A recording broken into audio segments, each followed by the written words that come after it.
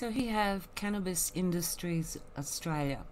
I'm just telling you that I'm doing this as an um, a clip I'm going to stick in with the rest of the video because I really botched up my explanation of this. I confused myself, so if I couldn't understand what I was saying, I don't think you could. So I'm re-recording just the quick bits of um, the basics of who's involved with Cannabis Industries Australia.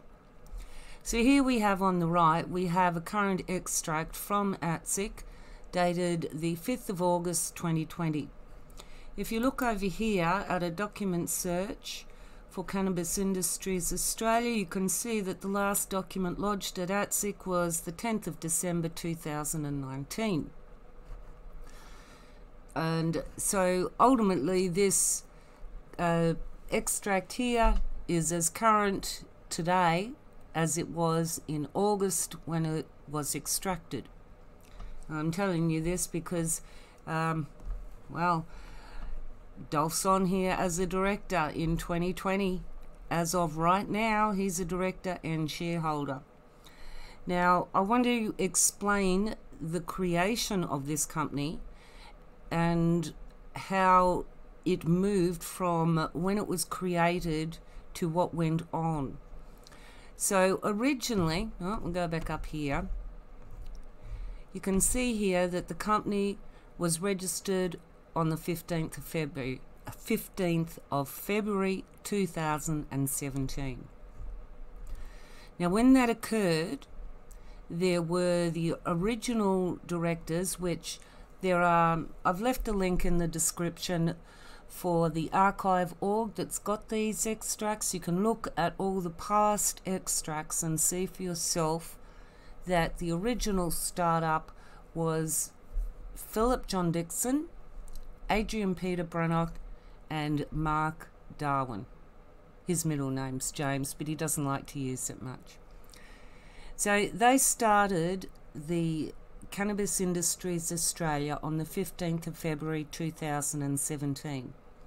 They were the directors and shareholders. Then, in um, as you can see here, that Adrian Brannock and Mark Darwin were directors for a very short period of time, and that they ceased being a director when they got Dolph Cook in. As you can see here, Dolph Cook was appointed the very same day that Adrian Brannock and Mark Darwin ceased.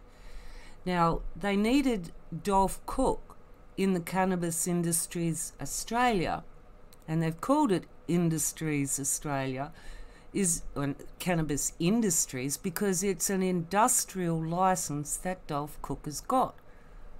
Now, they needed his license to be able to justify the legitimacy of the business, and Phil Dixon's interpretation of medical, industrial, you know, it's all hemp. Uh, that's the justification. But anyway, so back on the 15th of February 2017, we had Philip Dixon, Adrian Brannock, and Mark Darwin that started up Cannabis Industries Australia. A month later, they bought in Dolph and Dolph Cook, and Adrian Brannock and Mark Darwin stopped being directors and only just continued to be shareholders. Now, they were all shareholders except for um, Dolph Cook, right from the word go from the 15th of February 2017. Dolph Cook started being a shareholder on the 23rd of March, about a month later. Now, as it occurs that if you look over here on the documents, now to change a director, you have to lodge certain forms. To ch change shareholders, you have to lodge certain forms.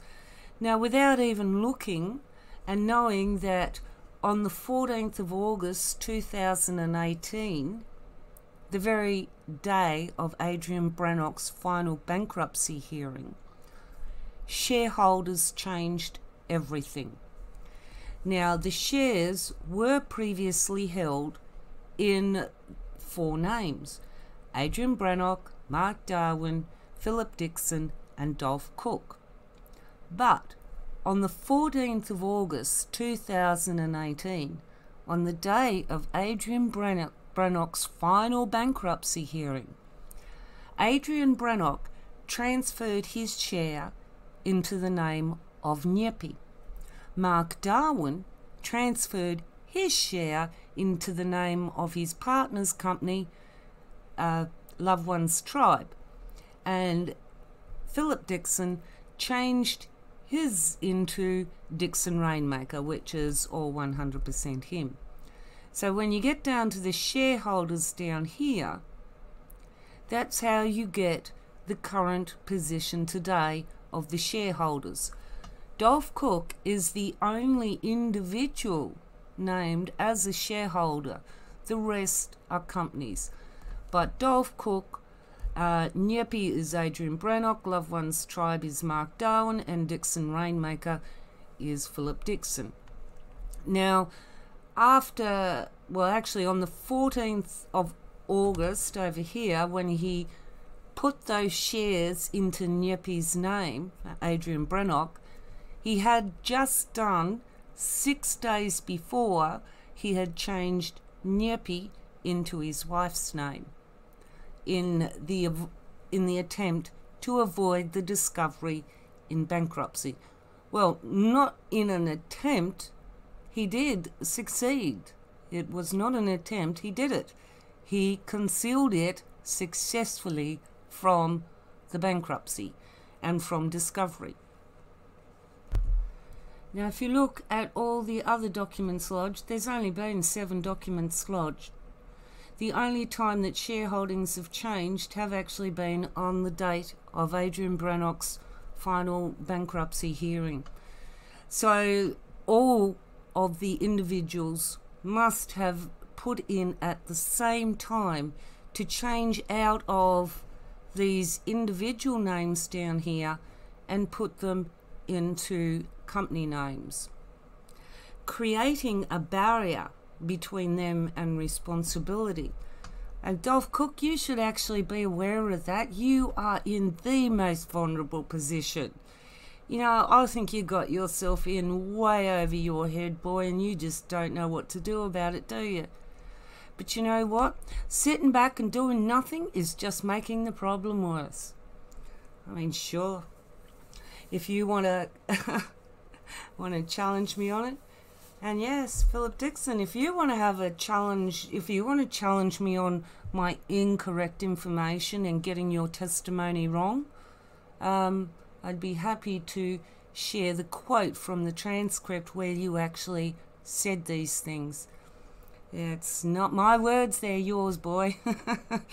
anyway, I'm going to cut this now and put in the next bit that Sorry, I hope I clarified how cannabis industries is still associated with four people. It has always been associated with four people. Um, well, Dolph Cook came in a month later. But Dolph Cook, as you can see, is still current share capital. He's got a quarter share in Cannabis Industries Australia, and he is still listed currently as a director. So, no matter what people want to say, it's on paper, you are responsible, Dolph. It's as simple as that. And I tell you what, I'd be worried about what they're making you responsible for. you know, you know better than us what they're like.